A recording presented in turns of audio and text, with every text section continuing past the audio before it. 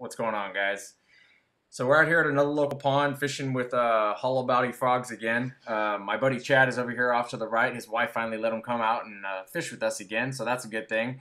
If you guys notice, I, I got the depth finder installed on the kayak, so this is its uh, debut fishing trip. Um, average depth of this pond is somewhere around 15 feet, and unfortunately, the pond has very, very thick vegetation that reaches up to around 10 feet. So it doesn't leave a whole lot of options for us uh, for fishing techniques. So topwater frogs, still good, getting it, getting it done, and it's a fun way to fish anyway.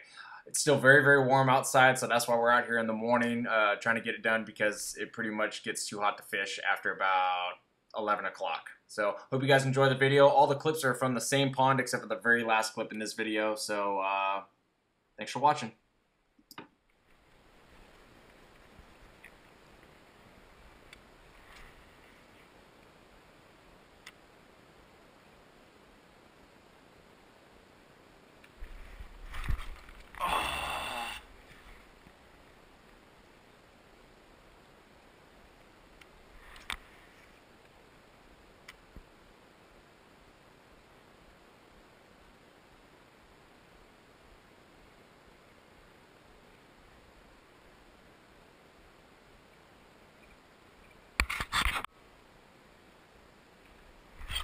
Got him.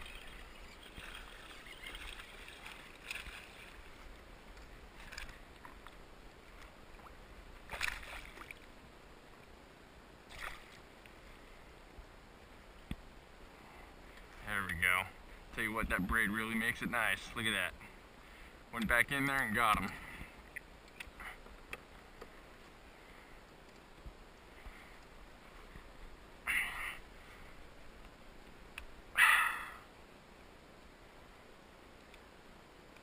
Don't swallow it.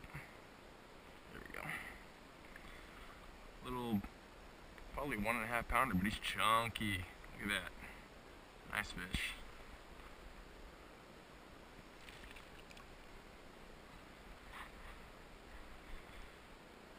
One in the boat, Chad.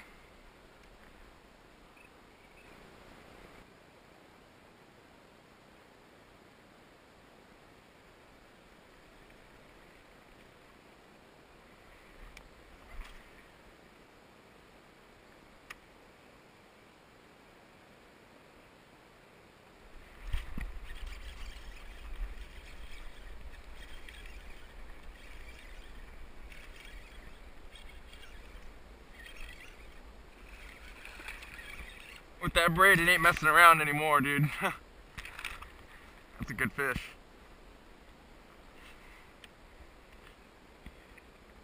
Another one and a half pounder. It's nice because that hook set is not even nearly as massive as it used to be.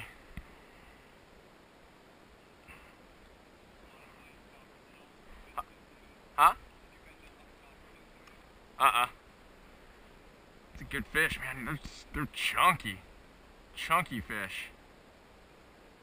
Look at how fat they are, dude. That's a 13, 14 inch bass that probably weighs about a pound and a half. He blew up on it twice. Which one are you using? Huh? Koppers.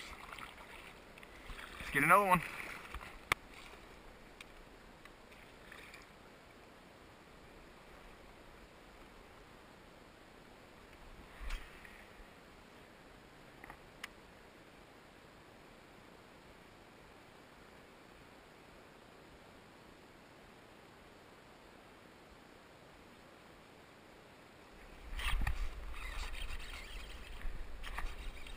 Hey, Chadley.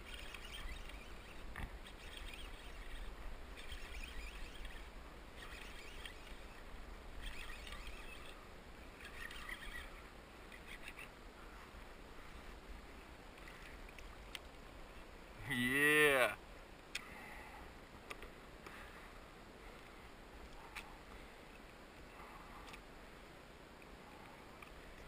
Ah, he's alright. About the same size as all the other ones.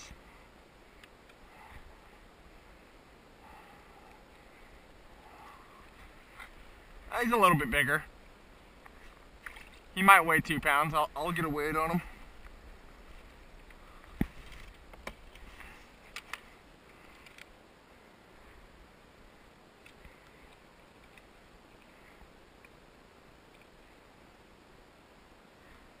Don't shake, don't shake.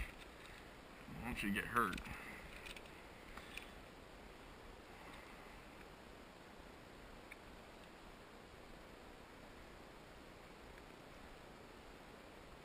I keep grabbing him so he won't shake and hurt himself. He's about one and three quarter.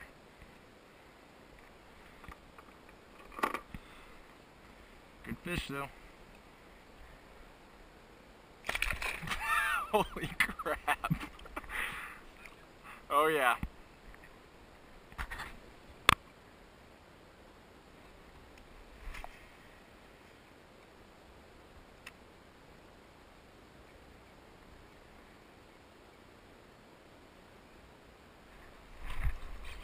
There's one.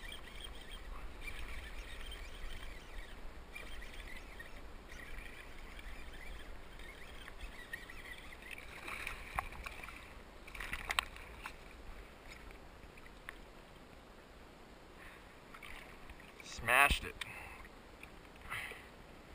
Make sure I'm recording.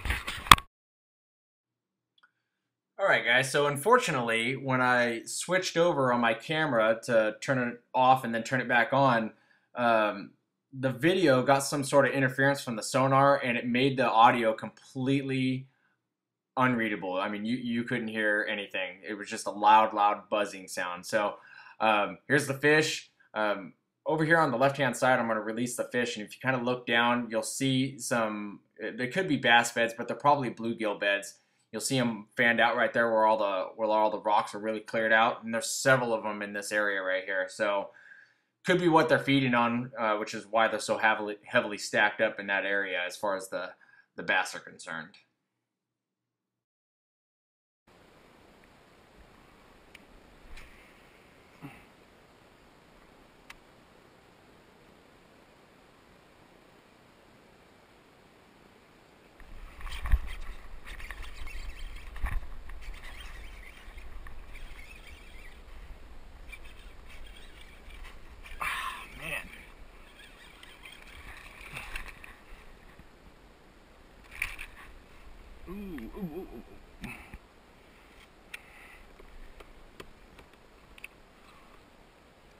Jeez. he pulled that thing completely out. Wow.